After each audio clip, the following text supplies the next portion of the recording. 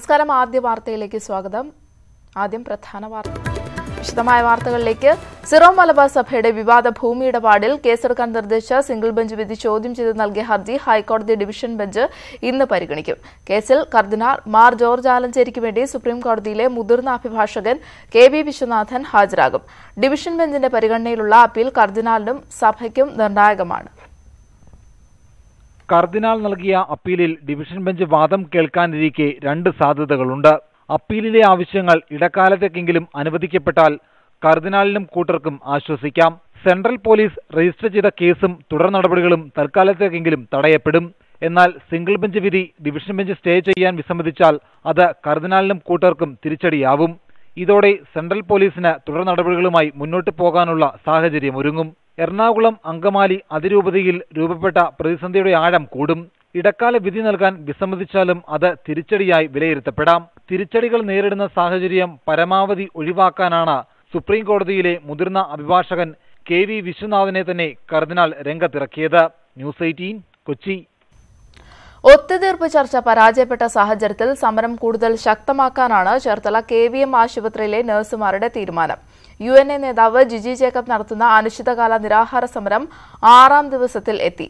ആവശ്യങ്ങൾ അംഗീകരിക്കാതെ സമരത്തിൽ നിന്ന് പിന്മാറില്ല എന്നാണ് ജിജി ജേക്കബിന്റെ നിലപാട്.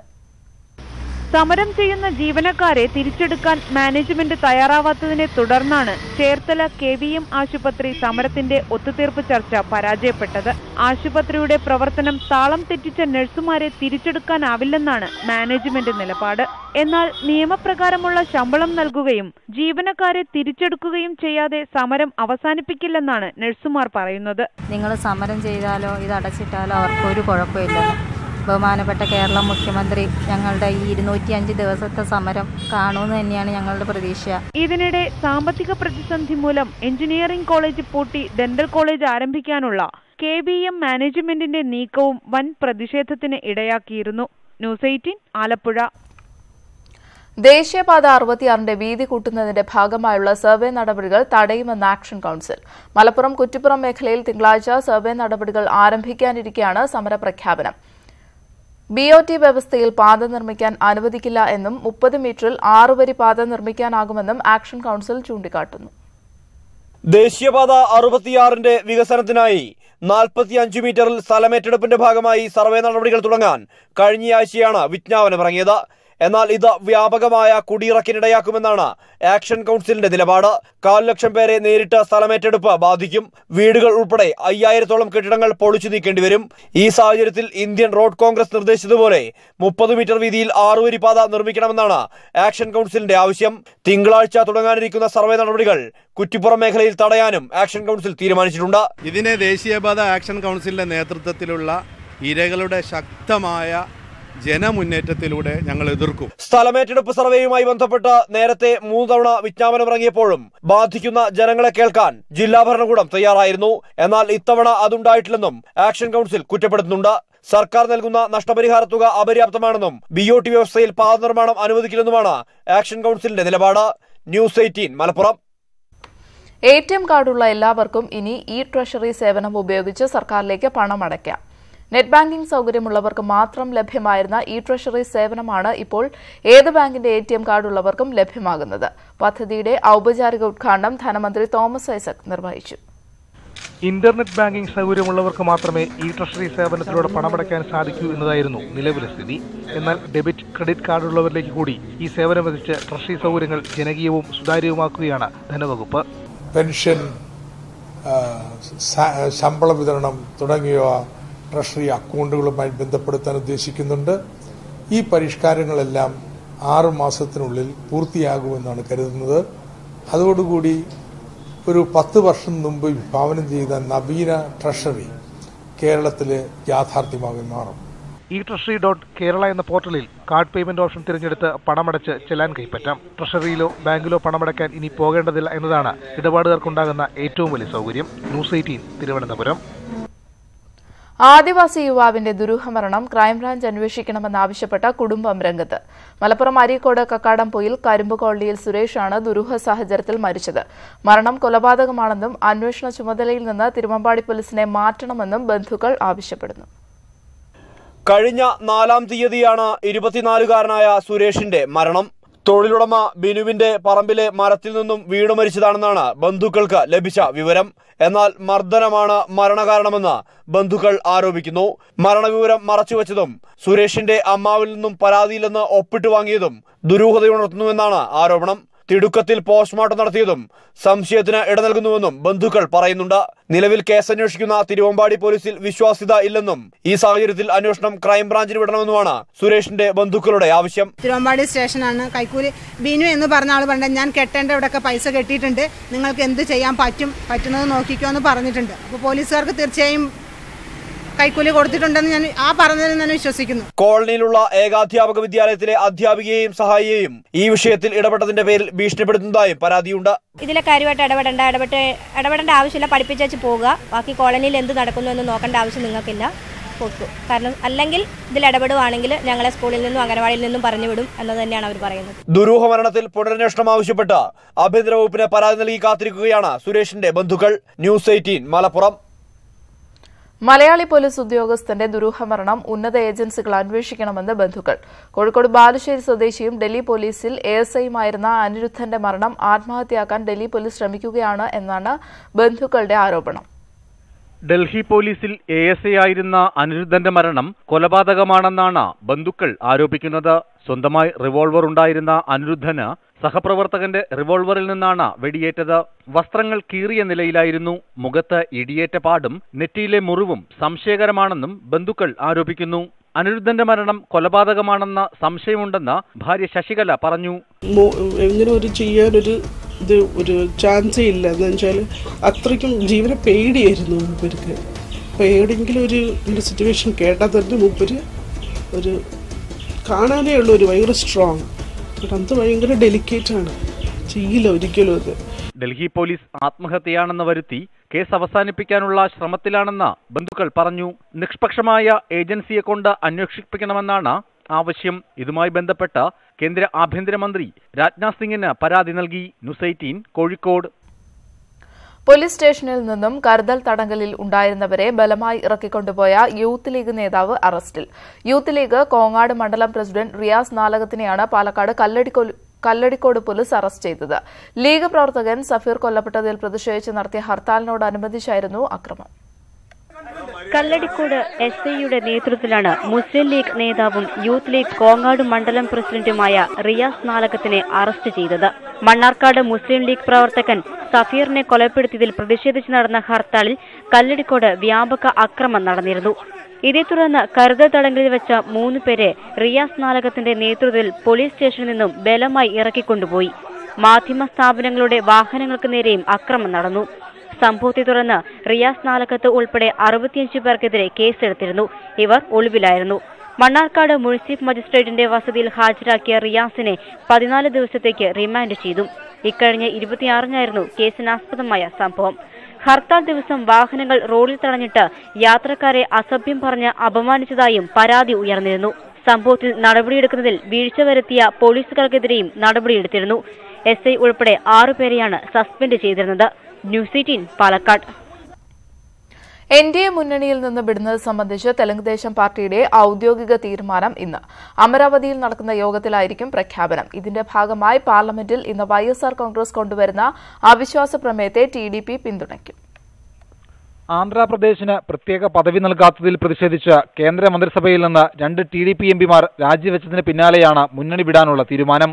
പാർട്ടിയിലെ എം എൽ എമാരും എംപിമാരും ഇതിനോടകം മുന്നണി വിടുന്നതിന് അനുകൂലിച്ചിട്ടുണ്ട് അതുകൊണ്ട് അമരാവതി യോഗത്തിൽ ഔദ്യോഗിക പ്രഖ്യാപനം ഉണ്ടാകുമെന്നാണ് സൂചന വൈ എസ് ആർ കോൺഗ്രസിൽ നിന്നുള്ള സമ്മർദ്ദവും ടി ഡി പിയുടെ തീരുമാനത്തിന് പിന്നിലുണ്ട് അതുകൊണ്ട് തന്നെ പാർലമെന്റിൽ നിന്ന് മോദി സർക്കാരിനെതിരെ വൈ എസ് ആർ കോൺഗ്രസ് കൊണ്ടുവരുന്ന അവിശ്വാസ പ്രമേയത്തെ ടി ഡി పి പിന്തുണയ്ക്കും ఆ తర్వాత దశ మీరు ఒకసారి ఆలోచించినప్పుడు ఎన్డీఏ వన్లో నేను భాగస్వామి కావడం ప్రధానమంత్రి వాజ్పేయి గారు ఉండడం అదే మరిగా యూఎఫ్లో నారాయణన్ని ఒక దళితుల్ని వైస్ ప్రెసిడెంట్గా ఉన్న వ్యక్తిని ఆ రోజు నాకుండే అవకాశంతో రాష్ట్రపతిగా ఉంటే బాగుంటుందని గట్టిగా చెప్పడం అందరూ కూడా ఒప్పుకొని మొట్టమొదటిసారిగా నారాయణన్ గారిని ఆ రోజు రాష్ట్రపతిగా ఎంపిక చేసే అవకాశం నాకు కూడా వచ్చింది అందులో భాగస్వామి అయ్యారు ఇనిషియేటివ్ తీసుకుందాం ఆ దేశాన్ని ആന്ധ്രാപ്രദേശിന് പ്രത്യേക പദവി നൽകില്ല എന്ന കേന്ദ്രമന്ത്രി അരുൺ ജെയ്റ്റ്ലിയുടെ പ്രസ്താവന വന്നതോടുകൂടിയായിരുന്നു T D P N D A ബന്ധം കൂടുതൽ വഷളായത് national desk news eighteen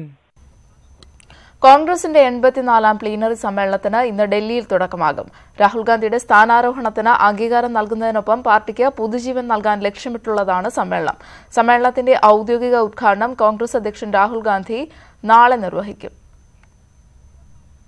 A I C C അധ്യക്ഷനായി രാഹുൽ ഗാന്ധിയെ കഴിഞ്ഞ ഡിസംബറിൽ തെരഞ്ഞെടുത്തിരുന്നു. ഇതിന് അംഗീകാരം നൽകാനാണ് പ്ലീനറി സമ്മേളനം. വെള്ളിയാഴ്ച വിശാല സ്റ്റിയറിംഗ് കമ്മിറ്റി യോഗം ചേരും. ശനി ഞായർ ദിവസങ്ങളിലാണ് പ്ലീനറി സമ്മേളനം. പ്രവർത്തക സമിതിക്ക് പകരം രൂപീകരിച്ച സ്റ്റിയറിംഗ് കമ്മിറ്റി അംഗങ്ങളും P C C C L P അധ്യക്ഷന്മാരും ചേർന്ന വിശാല യോഗം സമ്മേളനത്തിൽ അവതരിപ്പിക്കേണ്ട പ്രമേയങ്ങൾക്ക് അംഗീകാരം നൽകും. മുൻ പ്രധാനമന്ത്രി മൻമോഹൻ സിംഗും മുൻ ധനമന്ത്രി പി ചിദംബരവും ചേർന്ന് തയ്യാറാക്കിയ സാമ്പത്തിക പ്രമേയം കോൺഗ്രസ് വർക്കിംഗ് കമ്മിറ്റി അംഗം എ കെ ആന്റണിയുടെ നേതൃത്വത്തിലുള്ള കമ്മിറ്റി തയ്യാറാക്കിയ രാഷ്ട്രീയ പ്രമേയം അന്തർദേശീയ രംഗത്തെ സംബന്ധിച്ച് പാർട്ടിയുടെ കാഴ്ചപ്പാട് വ്യക്തമാക്കുന്ന പ്രമേയം കാർഷിക തൊഴിൽ മേഖലകളെ സംബന്ധിച്ചുള്ള പ്രമേയം തുടങ്ങി നാല് പ്രമേയങ്ങളാണ് പ്ലീനറി സമ്മേളനത്തിൽ ചർച്ച ചെയ്യുക. ശനിയാഴ്ച കാലത്ത് ഒൻപത് മണിക്ക് ഇന്ദിരാഗാന്ധി ഇൻഡോർ സ്റ്റേഡിയത്തിൽ കോൺഗ്രസ് അധ്യക്ഷൻ രാഹുൽ ഗാന്ധി പതാക ഉയർത്തുന്നതോടെ പ്ലിനറി സമ്മേളനത്തിന് ഔദ്യോഗിക തുടക്കമാകും. ഞായറാഴ്ച വൈകിട്ട് ചർച്ചകൾ ഉപസംഹരിച്ചുള്ള കോൺഗ്രസ് അധ്യക്ഷന്റെ മറുപടി പ്രസംഗത്തോടെ സമ്മേളനം അവസാനിക്കും. പാർട്ടി ഭരണഘടന അനുസരിച്ച് പ്രവർത്തക സമിതിയിലെ പകുതി പേരെയെങ്കിലും സമ്മേളനം തെരഞ്ഞെടുക്കണമെന്നാണ് വ്യവസ്ഥ. എന്നാൽ സോണിയാഗാന്ധിയുടെ കാലം മുതൽ തുടർന്നു പോരുന്ന കീഴ്വഴക്കത്തിന് ഇത്തവണയും മാറ്റമുണ്ടാകില്ല. പ്രവർത്തക സമിതി അംഗങ്ങളെ കോൺഗ്രസ് അധ്യക്ഷൻ രാഹുൽ ഗാന്ധി പിന്നീട് നാമനിർദ്ദേശം ചെയ്യും. കോൺഗ്രസിന്റെ പുതിയ യുഗത്തിനാണ് പ്ലിനറി സമ്മേളനത്തോടെ തുടക്കമാകുന്നത്. മോശപ്പെട്ട അവസ്ഥയിലൂടെ കടന്നുപോകുന്ന പാർട്ടിയെ അതിൽ നിന്ന് കരകയറ്റുക എന്ന് തന്നെയാണ് രാഹുൽ ഗാന്ധിക്ക് മുന്നിലുള്ള വെല്ലുവിളി. Cameraman Binu ബേസിലിനൊപ്പം E R Ragesh news eighteen Delhi.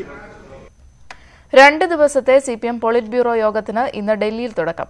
Hyderabad party കോൺഗ്രസിൽ അവതരിപ്പിക്കാനുള്ള രാഷ്ട്രീയ സംഘടനാ റിപ്പോർട്ടിന്റെ കരട് യോഗത്തിൽ തയ്യാറാകും. കഴിഞ്ഞ മൂന്ന് വർഷങ്ങളിൽ സംഘടനാ തലത്തിൽ ഉണ്ടായ നേട്ടങ്ങളും വീഴ്ചകളും അക്കമിട്ട് നിരത്തുന്നതാകും സംഘടനാ റിപ്പോർട്ട്.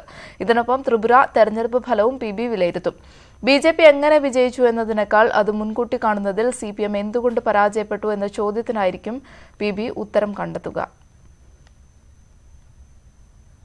കാലിത്തീറ്റ കുംഭകോണത്തിൽ ലാലു പ്രസാദ് യാദവിനെതിരായ നാലാമത്തെ കേസിൽ റാഞ്ചിയിലെ പ്രത്യേക സിബിഐ കോടതി ഇന്ന് വിധി പറയും. തൊണ്ണൂറ്റിയഞ്ച് തൊണ്ണൂറ്റിയാറ് കാലഘട്ടത്തിൽ ദുംക ട്രഷറിയിൽ നിന്നും മൂന്ന് ദശാംശം ഒന്ന് മൂന്ന് കോടി രൂപ അനധികൃതമായി പിൻവലിച്ച കേസിലാണ് ശിക്ഷാവിധി. ഇന്നലെ നിശ്ചയിച്ചിരുന്ന വിധി പ്രസ്താവം കോടതി ഇന്നത്തേക്ക് മാറ്റി. ലാലുവിന് പുറമെ മുൻ ബിഹാർ മുഖ്യമന്ത്രി ജഗന്നാഥ മിശ്ര ഉൾപ്പെടെ മുപ്പത് പ്രതികളാണ് കേസിലുള്ളത്. കുംഭകോണത്തിലെ മൂന്ന് കേസുകളിലുമായി ലാലുവിന് കോടതി പതിമൂന്നര വർഷം തടവ് ശിക്ഷ വിധിച്ചിട്ടുണ്ട്. ശിക്ഷ അനുഭവിക്കുന്ന ലാലു നിലവിൽ ബിർസ മുണ്ട ജയിലിൽ തടവിൽ കഴിയുകയാണ്. ആഭ്യന്തര കലാപം രൂക്ഷമായ സിറിയയിലെ കിഴക്കൻ കുട്ടാലയിൽ നിന്ന് സാധാരണക്കാരായ ആളുകൾ പലായനം ആരംഭിച്ചു. കലാപഭൂമിയിൽ ഏകദേശം പതിനായിരത്തോളം ആളുകൾ സിറിയൻ സൈന്യത്തിന്റെ നിയന്ത്രണത്തിലുള്ള പ്രദേശത്തെത്തിയതായി സിറിയൻ ഒബ്സർവേറ്ററി അറിയിച്ചു. സ്ത്രീകളും കുട്ടികളും അടങ്ങുന്ന സംഘം കാൽനടയായിട്ടാണ് പലായനം നടത്തുന്നത്. സിറിയയിൽ വർഷങ്ങളായി തുടരുന്ന കലാപത്തിൽ ഏകദേശം നാല് ലക്ഷത്തോളം ആളുകൾ കൊല്ലപ്പെട്ടിട്ടുണ്ട് എന്നാണ് സ്ഥിരീകരിക്കാത്ത കണക്കുകൾ. അമേരിക്കൻ പ്രസിഡന്റ് തെരഞ്ഞെടുപ്പിൽ സൈബർ ആക്രമണം നടത്തിയതിനെതിരെ നടത്തിയതിന്റെ പേരിൽ റഷ്യക്കെതിരെ അമേരിക്കൻ ഭരണകൂടം ഉപരോധം ഏർപ്പെടുത്തി. പത്തൊൻപത് വ്യക്തികൾക്കെതിരെയും അഞ്ച് സ്ഥാപനങ്ങൾക്കെതിരെയുമാണ് ട്രംപ് ഭരണകൂടം ഉപരോധം ഏർപ്പെടുത്തിയത്. അമേരിക്കയുടെ ട്രഷറി ഡിപ്പാർട്ട്മെന്റാണ് ഉപരോധം ഏർപ്പെടുത്തിയതായി അറിയിച്ചത്. റഷ്യയുടെ federal security services intelligence directorate internet research agency തുടങ്ങിയ സ്ഥാപനങ്ങളും ഉപരോധം ഏർപ്പെടുത്തിയവയിൽ ഉൾപ്പെടുന്നുണ്ട്. ഫ്ലോറിഡയിലെ യൂണിവേഴ്സിറ്റിയിൽ നിർമ്മാണത്തിലിരുന്ന പാലം തകർന്നു വീണ് നിരവധി പേർക്ക് പരിക്കേറ്റു. ഇന്നലെ ഉച്ചയോടുകൂടിയായിരുന്നു സംഭവം. അപകടത്തിൽ നിരവധി വാഹനങ്ങളും തകർന്നു. ഡേഡ് കൌണ്ടിലെ സ്വീ സ്വീറ്റ് വാട്ടർ സിറ്റിയുമായി സർവകലാശാല ബന്ധിപ്പിക്കുന്ന പാലമാണ് തകർന്നു വീണത്. പരിക്കേറ്റവരെ സമീപത്തെ ആശുപത്രിയിൽ പ്രവേശിപ്പിച്ചു. പലരുടെയും നില അതീവ ഗുരുതരമാണ്. കോട്ടയം നഗരമധ്യത്തിൽ നിലനികത്തലിന് റവന്യൂ വകുപ്പിന്റെ സ്റ്റോപ്പ് മെമ്മോ. നഗരപരിധിയിലെ കിഴക്കുന്ന് പ്രദേശത്താണ് കൃഷിസ്ഥലങ്ങളും കനാൽ പുറംപോക്കും മണ്ണിട്ട് നികത്തിക്കൊണ്ടിരിക്കുന്നത്. കളക്ടറുടെ നിർദ്ദേശപ്രകാരം വില്ലേജ് ഓഫീസറാണ് സ്റ്റോപ്പ് മെമ്മോ നൽകിയത്. കുടിവെള്ളക്ഷാമം രൂക്ഷമായ കോട്ടയം നഗരസഭയിലെ കിഴുക്കുന്ന് പ്രദേശത്താണ് നിലനികത്തൽ വ്യാപകമായിരിക്കുന്നത്. നീരൊഴുക്കുള്ള തോടും കൃഷിസ്ഥലങ്ങളും ഉൾപ്പെടെയാണ് നികത്തിക്കൊണ്ടിരിക്കുന്നത്. സംഭവം വാർത്തയായതോടെ നിലനികത്തൽ നിർത്തിവെക്കണമെന്നാവശ്യപ്പെട്ട് വില്ലേജ് ഓഫീസർ ഉത്തരവിടുകയായിരുന്നു. പുരയിടം ആയതുകൊണ്ട് നിയമവിരുദ്ധമെന്ന് പറയാൻ പറ്റില്ല. എങ്കിലും പക്ഷേ പുരയിടത്തിന്റെതായിട്ടുള്ളൊരു പ്രത്യേകതയിലല്ല ആ വസ്തു കിടക്കുന്നത്. ആയതുകൊണ്ട് അത് നമുക്ക് ഇതെടുക്കാം. നടപടികൾ സ്വീകരിക്കാം. തെറ്റില്ല. മുൻപ് ചരക്ക് വള്ളങ്ങൾ പോയിരുന്ന തോടുൾപ്പെടെ നികത്തിയെന്നാണ് പരാതി. കുടിവെള്ളക്ഷാമം രൂക്ഷമായ മേഖലയിലായിരുന്നു നിയമലംഘനം. സംഭവം വാർത്തയായതോടെ ജില്ലാ കളക്ടർ വിഷയത്തിൽ ഇടപെടുകയായിരുന്നു. News eighteen Kottayam. ട്രെയിൻ യാത്രയ്ക്കിടയിൽ കടന്നു പിടിക്കാൻ ശ്രമിച്ചുവെന്ന വെളിപ്പെടുത്തലുമായി എം പി ജോസ് കെ മാണിയുടെ ഭാര്യ നിഷ. നിഷ പുറത്തിറക്കിയ ഓർമ്മക്കുറിപ്പിലാണ് ഈ പരാമർശം ഉള്ളത്. പ്രമുഖ രാഷ്ട്രീയ നേതാവിന്റെ മകനിൽ നിന്നുമാണ് തനിക്ക് മോശം പെരുമാറ്റം നേരിടേണ്ടി വന്നത് എന്ന് പറഞ്ഞുവെങ്കിലും പേര് വെളിപ്പെടുത്താൻ അവർ തയ്യാറായില്ല. The other side of this life എന്ന പേരിൽ പുറത്തിറക്കിയ ഓർമ്മക്കുറിപ്പിലാണ് നിഷ പ്രമുഖ രാഷ്ട്രീയ നേതാവിന്റെ മകനെതിരെ ഗുരുതര ആരോപണം ഉന്നയിച്ചിരിക്കുന്നത്. അപകടത്തെ തുടർന്ന് ആശുപത്രിയിൽ കഴിയുന്ന ഭാര്യാപിതാവിനെ കാണാനാണ് അയാൾ ട്രെയിനിൽ കയറിയത്. യാത്രക്കിടയിൽ അയാൾ തന്നെ കടന്നുപിടിക്കാൻ ശ്രമിച്ചു. ഇക്കാര്യം ഭർത്താവായ ജോസ് കെ മാണിയോട് പറഞ്ഞിരുന്നതായും നിഷ സൂചിപ്പിക്കുന്നുണ്ട്. എന്നാൽ ഇയാളുടെ പേര് വെളിപ്പെടുത്തുവാൻ തയ്യാറാകാതിരുന്ന നിഷ ഇക്കാര്യം കെ എം മാണി ഉൾപ്പെടെ എല്ലാവരുമായി കൂടിയാലോചിച്ചാണ് പുസ്തകത്തിൽ ഉൾപ്പെടുത്തിയതെന്നും വ്യക്തമാക്കി. Hundred percent. അല്ലെങ്കിൽ ഞാൻ ഇവിടെ എഴുതത്തില്ലായിരുന്നു. ഞാനും എന്റെ ഹസ്ബൻഡും എന്റെ അച്ചാച്ചൻ എന്റെ അമ്മ എന്റെ മമ്മി എന്റെ ഡാഡി പറയണമെങ്കിൽ ഞങ്ങൾക്ക് അഞ്ച് സിസ്റ്റേഴ്സ് ഉണ്ട്. ഞങ്ങൾ എല്ലാവരും ഒറ്റ ഐക്യത്തോട് തന്നെയാണ് ഇരിക്കുന്നത് എപ്പോഴും ലൈഫിൽ ഞാൻ എനിക്കിഷ്ടമുള്ള കാര്യങ്ങൾ ഞാൻ പറയും. അതിനെ കറക്റ്റ് ചെയ്യും ചിലപ്പം. അത് ഞാൻ ഓപ്പൺ ആയിട്ട് കേൾക്കും. ഇത് അങ്ങനെ അങ്ങനെയുള്ളൊരു ലൈഫാണ് എന്റെത് ഫേസ്ബുക്കിലെ കുറിപ്പുകൾ ക്രോഡീകരിച്ചാണ് പുസ്തകമാക്കിയത്. കുമരകത്ത് നടന്ന ചടങ്ങിൽ അശ്വതി തിരുനാൾ ഗൗരി ലക്ഷ്മിഭായി പുസ്തകം പ്രകാശനം ചെയ്തു. കെ മാണിയും കുടുംബാംഗങ്ങളും അടുത്ത ബന്ധുക്കളും ചടങ്ങിൽ പങ്കെടുത്തു. News eighteen Kottayam. കെട്ടിടത്തിന് മുകളിൽ നിന്ന് ചാടി ആത്മഹത്യ ചെയ്യാൻ ശ്രമിച്ച യുവതിയെ പിടിച്ചെടുത്ത് രക്ഷിച്ച പോലീസുകാരനാണ് സോഷ്യൽ മീഡിയയിലെ പുതിയ ഹീറോ. സ്വന്തം ജീവൻ പണയപ്പെടുത്തിയായിരുന്നു പോലീസ് ഓഫീസറുടെ രക്ഷാപ്രവർത്തനം. വീഡിയോ ഇതിനോടകം വൈറലായി കഴിഞ്ഞു. ചൈനയിലെ പടിഞ്ഞാറൻ സിൻഷിയാങ്ങിൽ അക്സു പ്രൊഫക്ചറിലായിരുന്നു സംഭവം.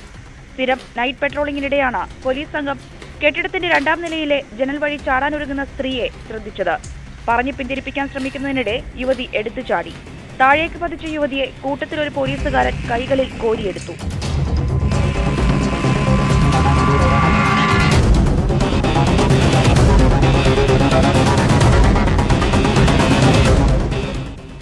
ഇരുവരും താഴെ വീണെങ്കിലും നിസ്സാര പരിക്കുകളോടെ രക്ഷപ്പെട്ടു.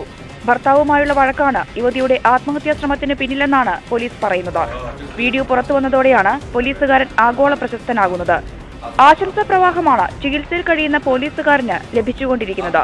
ന്യൂസ് ഡെസ്ക് ന്യൂസ് എയ്റ്റീൻ പാഞ്ഞു വന്ന കാള നഗരമധ്യത്തിൽ സ്ത്രീയെ കുത്തിത്തെറിപ്പിക്കുന്ന വീഡിയോ സമൂഹമാധ്യമങ്ങളിൽ പ്രചരിക്കുന്നു. കാളയുടെ ആക്രമണത്തിൽ നിന്ന് രക്ഷപ്പെട്ട സ്ത്രീ ഗുരുതര പരിക്കുകളോടെ ചികിത്സയിലാണ്. ഗുജറാത്തിലെ ഭാറോഞ്ചിലാണ് സംഭവം. റോഡിലൂടെ ഫോണിൽ സംസാരിച്ചു വരികയായിരുന്ന സ്ത്രീയെ കാള പിന്നിൽ നിന്നും കുത്തിമറിച്ചിട്ടു. കാളയുടെ ആക്രമണത്തിൽ തെറിച്ചുപോയ സ്ത്രീ അല്പം ദൂരെ മാറിയാണ് വീണത്. നഗരത്തിലെ ഒരു സി സി ടി വിയിലാണ് ദൃശ്യങ്ങൾ പതിഞ്ഞത്. ഉടൻ തന്നെ ആളുകൾ ഓടിയെത്തി ഇവരെ സമീപത്തെ ആശുപത്രിയിലേക്ക് മാറ്റി. വീഴ്ചയിൽ ഇവരുടെ തലയ്ക്കും ഗുരുതരമായി പരിക്കേറ്റിട്ടുണ്ട്. News desk news